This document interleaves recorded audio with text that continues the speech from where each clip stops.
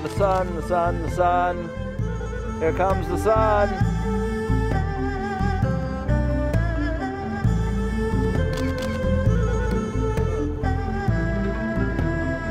Because it's about to go behind that peak. Oh, thing of beauty.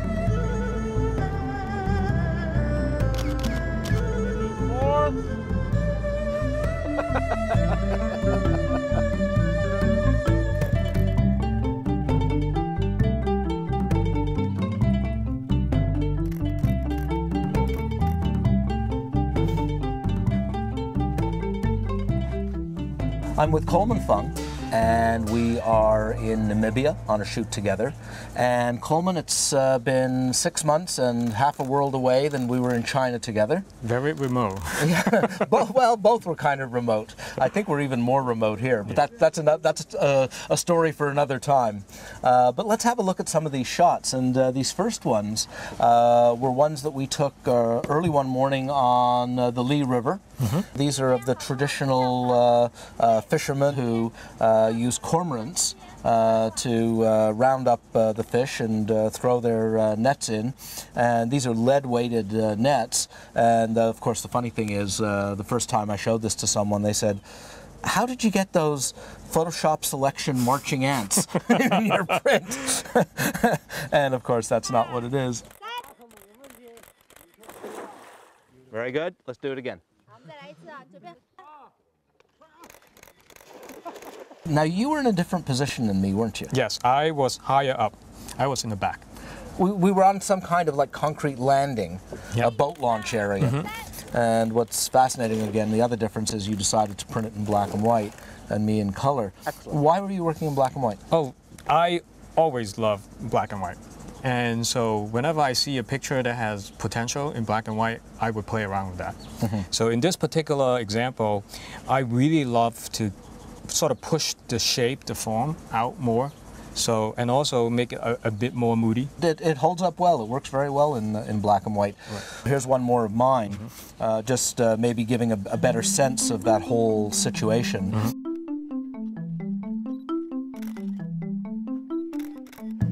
Tell them to keep coming.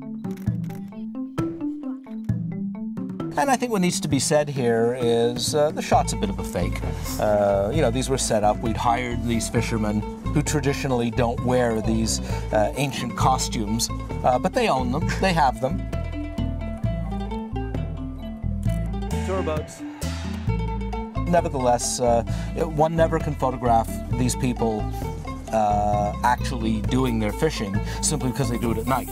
So any photograph anyone ever takes of these uh, is going to be uh, one that was uh, in some way kind of faked. And I love here the fact that the sun is behind uh, the mist and Yep. uh, just is this uh, little white dot.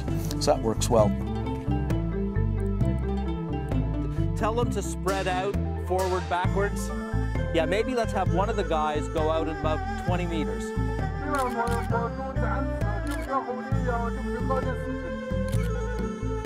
Okay, the guy in the, the, here, just back a little bit, back a little bit. They're too symmetrical. They're like these two are too close to each yeah. other. They're, the back is too close. Yeah. yeah. They need we, to have one further in, one further out, like. Yeah, we need to spread them. Get one of the guys. Excuse me.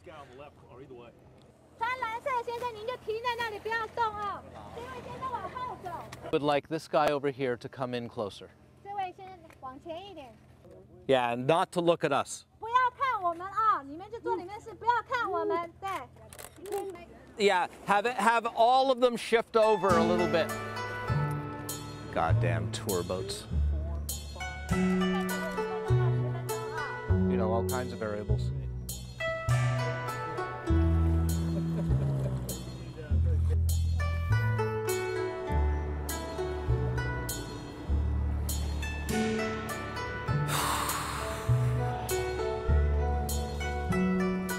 Light is perfect now. Light is absolutely perfect.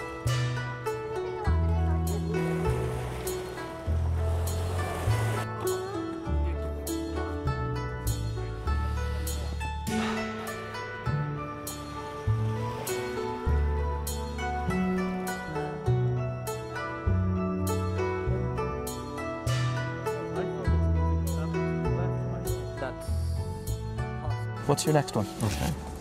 Oh, right, the uh, uh, the fishermen. This uh, is actually, they were just getting ready. that's right, getting their lanterns going Yep, and so forth. Right. So this one, I was very lucky. It was a handheld picture. Mm-hmm. 5D. Yeah, I guess the 5D had just come out. It just came out. That's right. And they didn't have the bracket, so I couldn't even put the 5D on the tripod.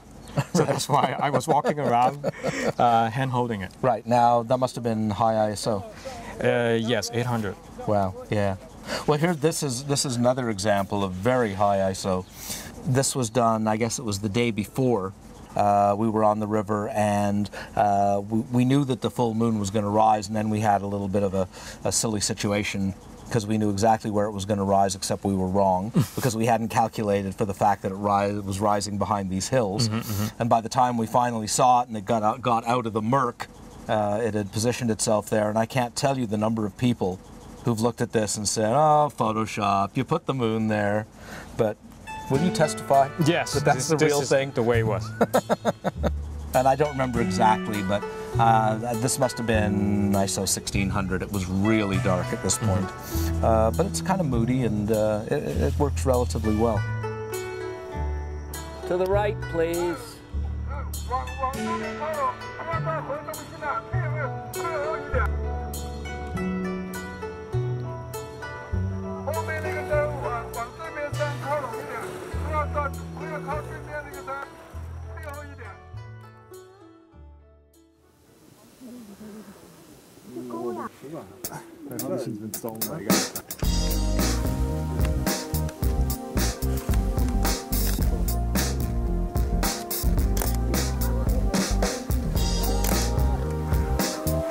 Over there.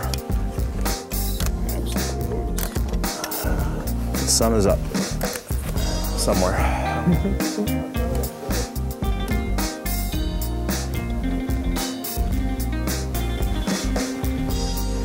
oh, yes. When this starts to clear in here, it's going to be spectacular.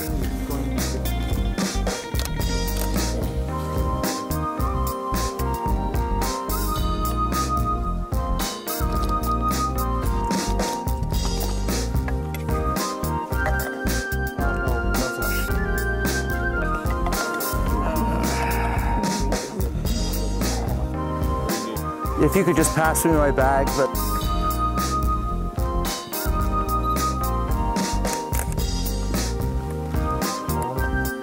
Yeah, 300.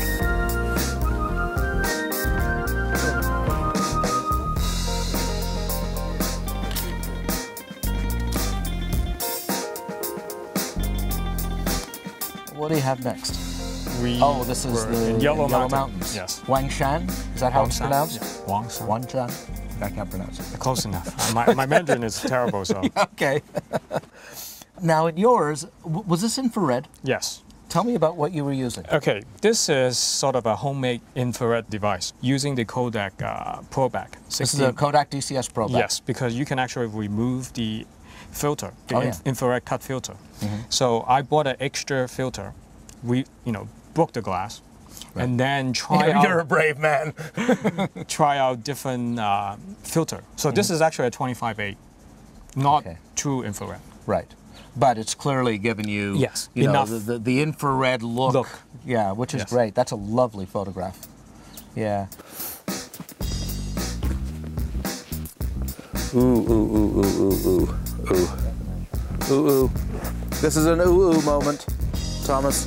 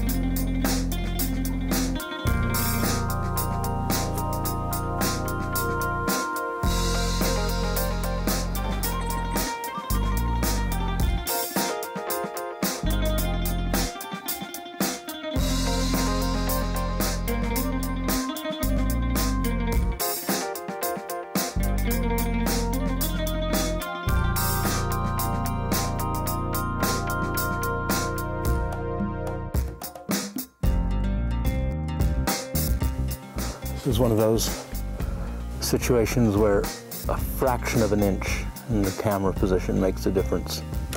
Slightest change in focal length and you include or exclude something. You want to be shooting a prime lens for image quality, but you want to zoom for positioning.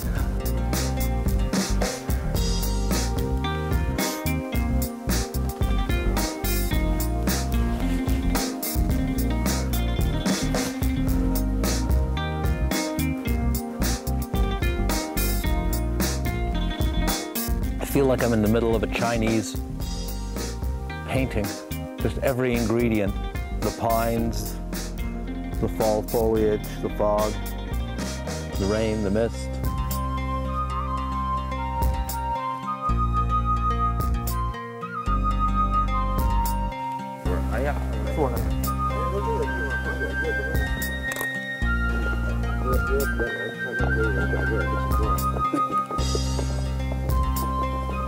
Roma.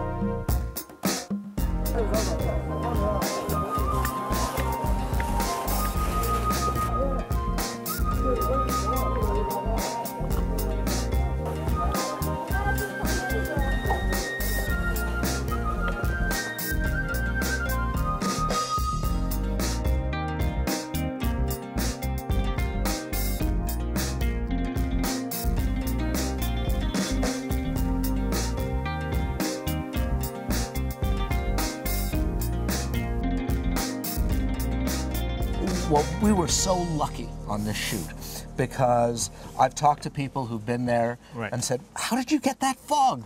And for the two days that we were there, it was just these Yep, beautiful perfect. Foggy mornings. It's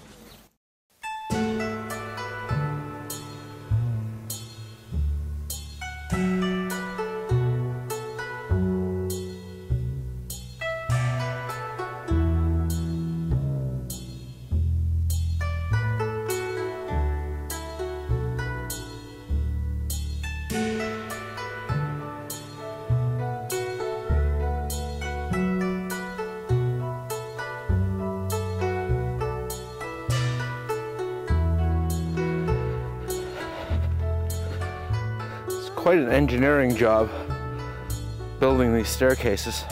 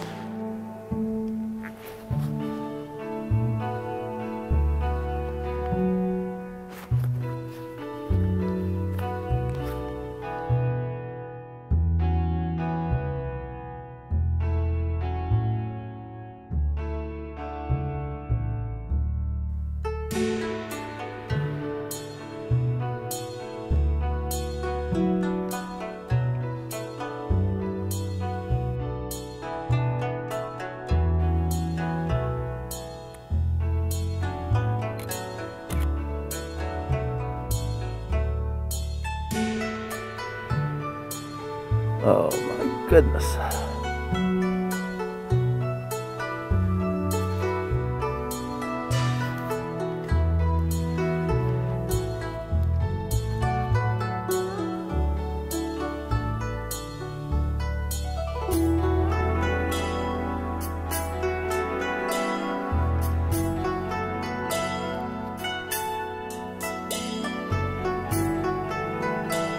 Oh golly gosh.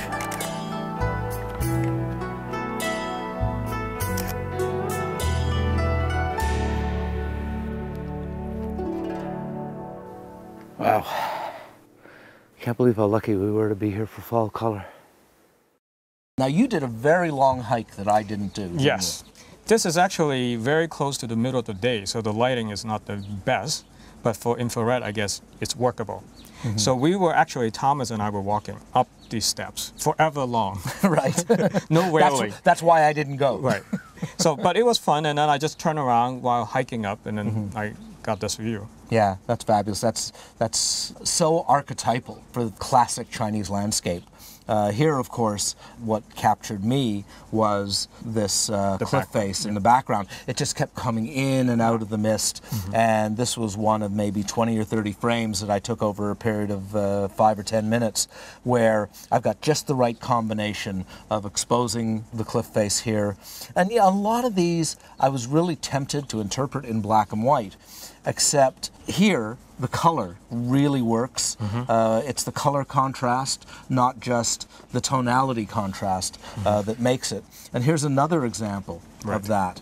Where originally I did a black and white print, and it, I think there was a, a dust spot, and I went in, uh, went up to 100% with the cloning tool, and then I went, wait a second, that's green. I've, I've got green there. So I did this interpretation, which is a color print, but uh, the only color is just this little touch of green here. And to me, this is so reminiscent of uh, the, the uh, traditional Chinese paintings, which before having gone to the Yellow Mountains, I always thought were some kind of invented Abstract yeah, abstract representation. representation of maybe the mythology, Chinese mythology. And then I went, no, this is real. this is a real place. And what a great place to do shooting.